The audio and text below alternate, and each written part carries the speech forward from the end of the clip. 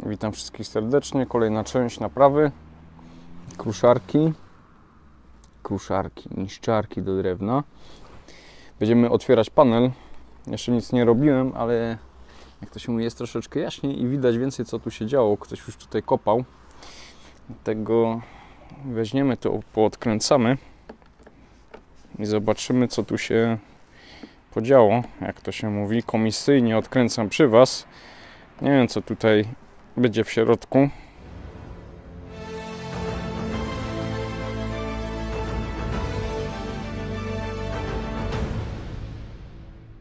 Więc zaraz się dowiemy, z czym będziemy walczyć. Zasilanie mam przygotowane. Z ostatniego razu już wiem, że musi być lepszy bezpiecznik, więc jesteśmy podłączeni do miejsca, gdzie prąd jest wystarczający na pracę. Ok. Czy na pierwszy rzut oka coś widać? Ja bym powiedział, że nie. To źle. Bo jakby coś było ujarane, byłoby łatwiej. A tak musimy kombinować. Czy tutaj będzie coś w kablach nakopane? Hmm.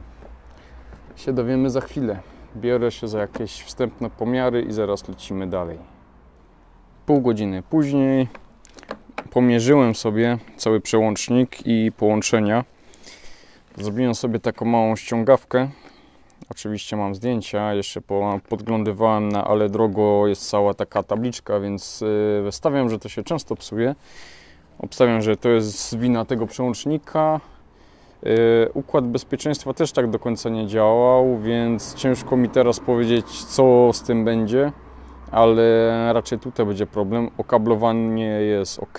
Jedynie mi się nie podoba, powiedzmy, na, na tych dwóch stykach. Ale wezmę wszystko sobie poodczepiam, wezmę przełącznik, jak to się mówi, na warsztat i zobaczymy, co go boli. No niestety ręce wyglądają jak wyglądają, tak wygląda urządzenie. Więc biorę się do roboty i zmierzymy sobie sam przełącznik. Później ewentualnie zmierzymy sobie e, łącznik podtrzymania. Bezpiecznik sprawdzałem, bezpiecznik jest ok. Więc to jest prosty element do pomiaru. Do, do tego nie mam dojścia w pełni, więc zaczniemy sobie od tego.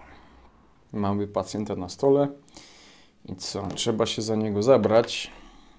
Zaczniemy troszeczkę brutalnie, ale myślę, że dojdziemy do tego w końcu, co jest uszkodzone. A tak troszeczkę mi to nie daje spokoju, bo nie widać wyraźnych uszkodzeń.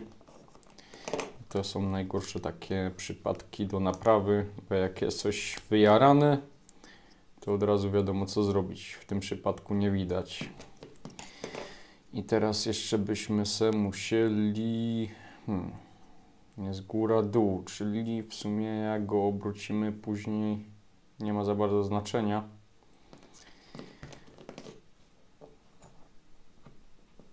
I spróbujemy go podważyć z jednej strony i z drugiej. Już kilka razy mi się przydarzyło, że musiałem naprawiać taki przełącznik.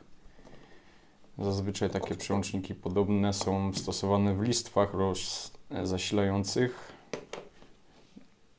Ok, chwila prawdy. Nie wygląda to źle, jak na razie. Nic nie wygląda na mocno wyjarane. Wyciągniemy sobie jeden styk. Jakby chciał wyjść, to by było fajnie. Albo drugi styk. Też by było fajnie, jakby chciał wyjść. I niestety. Albo coś tutaj jest. Aha. Tu jest chyba to zgrzane. Nie wiem, czy będziecie widzieć tu i tu jest to zgrzane tak, żeby to nie wypadło samo z siebie. Zazwyczaj wystarczy tak zrobić i wszystko wypada. Ale wypadł jakiś syfek. Więc albo to będzie zabrudzenie. Mam nadzieję, że to rozwiązuje problem. A coś mi się wydaje, że jednak nie. Zobaczmy, czy to jakby się wyciągło. To może być jakiś tam element. Hmm. Ciągnięciem nożem do siebie. Nigdy tak nie robić. Ciągnąć ost nie ostrą częścią. No, jak to się mówi, syf jest. To ma dostęp do środka? Niestety nie. Ale, ale, czy tutaj jest coś, żeby to nacisnąć? Zaraz się dowiemy. Mi się wydaje, że chyba tak.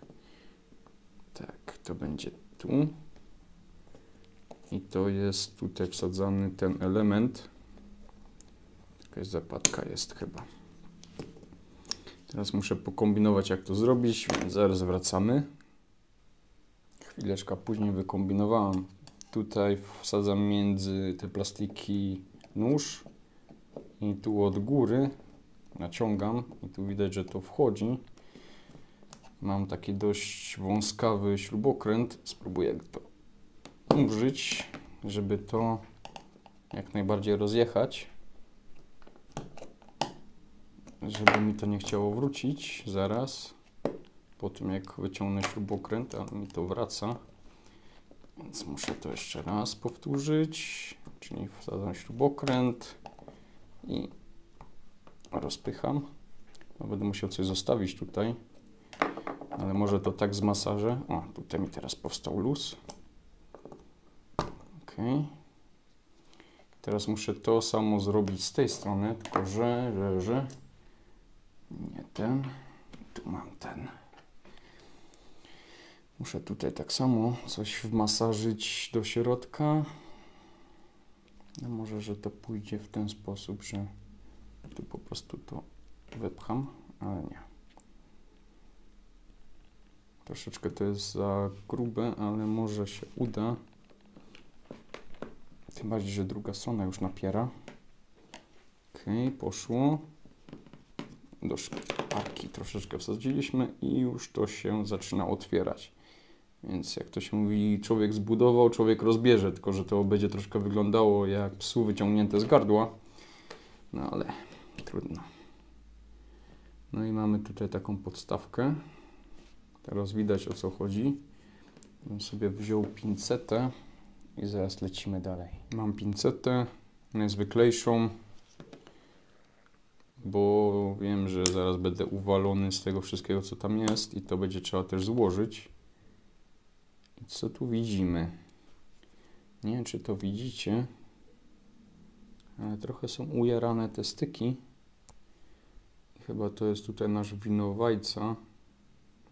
Spróbuję zaraz zdjęcia zrobić. Jest to wyjarane. Ciutka. Dam sobie troszeczkę więcej światła. Nie wiem, czy będzie widać. Lampa chciała zostać tu, gdzie ją daje. Teraz sobie ją skręcimy, żeby nie uciekała. Mam nadzieję, że widać. Tu jest wypalony, a tu jest zdrowe. Tu prawdopodobnie to będzie też widać. Mam nadzieję. Tu jest zdrowe, tu jest wypalone.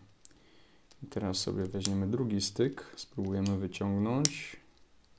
Tylko, że jakoś to, jak to się mówi, nie za bardzo chętne. A tu wszystko wygląda cacy. Więc ten jest cacy. I tylko ten przełącznik trzeba obrócić. Stawiam na to, że pod obciążeniem coś było przełączane i po prostu się coś podziało, albo po prostu się zabrudziło. Mm, jak widać po ilości tego czarnego sypu na stole. Więc y, są dwa sposoby. Wyczyścimy to, a będzie trzeba wyczyścić, tylko sobie muszę przygotować sprzęt.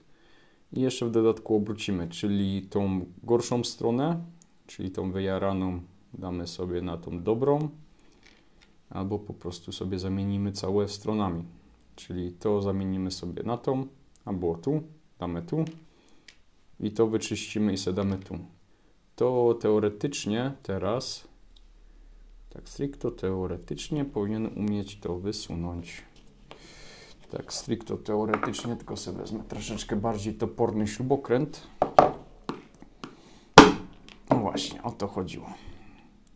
I mamy goły styk. I mam nadzieję, że widać, jak to jest uszkodzone. I skąd się prawdopodobnie bierze problem y, z ruchem w jedną stronę, ale zaraz zobaczymy dalej. Może być to tylko taki częściowy powód, a faktycznie coś tam będzie popsute. Więc biorę się za, za przygotowanie sprzętu i lecimy z czyszczeniem.